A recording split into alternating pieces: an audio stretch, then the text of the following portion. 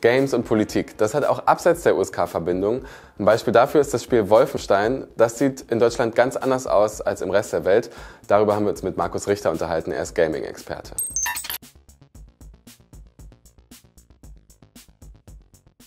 Es gibt von Wolfenstein zwei Visionen, nämlich eine US-amerikanische weltweite und eine für den deutschen Markt, könnte man sagen.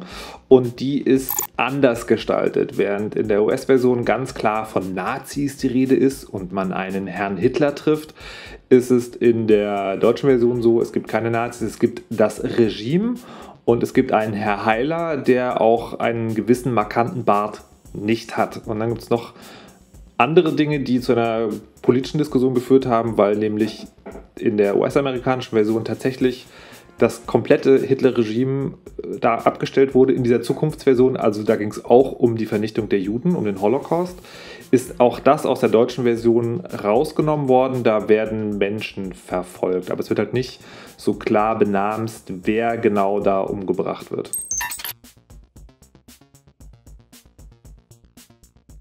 Man muss das in zwei Sachen unterteilen. Warum zeigen die keine Hakenkreuze? Warum die zeigen die nicht das Porträt von Adolf Hitler? Es gibt in Deutschland den Paragraphen 86a, das zeigen verfassungsfeindliche Symbole und das ist in Computerspielen im Gegensatz zum Film verboten und zwar nicht verboten im Sinne von du musst ein Strafgeld zahlen, wenn du es machst, sondern im Sinne voll, das ist eine strafbare Handlung, dafür kann man ins Gefängnis kommen. Warum die den Rest nicht machen, das ist eine Frage, die man sich stellen kann, aber wo man wirklich nur interpretieren kann. Es gibt eine offizielle Stellungnahme von Bethesda, wo die sowas sagen wie, naja, wir wollten das komplett fiktiv machen. Und das ist alles, was man dazu weiß. Wenn ich spekulieren sollte, würde ich sagen, das ist so eine Art kapitalistische Feigheit, weil wenn man anfängt, echte Nazis in so ein Spiel zu bringen, dann ist es, also A, in Deutschland muss man sich dann dieser Diskussion stellen, ist es juristisch tragbar, so wie man es macht? Das heißt, man muss diese Grenze genau ausloten. Und andererseits kann man sich halt auch in viele Diskussionen verwickeln lassen. Also ich glaube tatsächlich auch, dass dieses dieses Ding, dass der Holocaust da nicht vorkommt, das ist von Kritikern auch bezeichnet worden als Zensur, als Verschweigen des Verbrechens.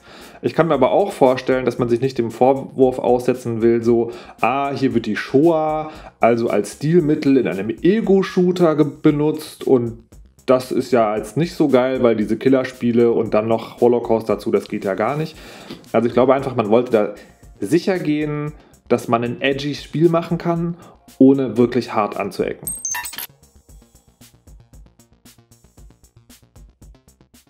Ich glaube das nicht. Man kann hier wirklich nur spekulieren. Und tatsächlich ist, bist du in einem Spiel heutzutage in Deutschland safe, wenn du keine Hakenkreuze zeigst. Das ist eine Diskussion, die gerade geführt wird, ob das noch zeitgemäß ist, weil in Filmen zum Beispiel geht es ja erst dann immer der Vergleich.